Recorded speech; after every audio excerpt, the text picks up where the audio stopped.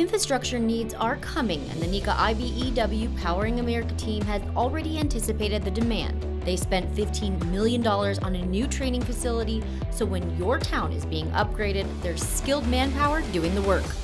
Watch now on ETV.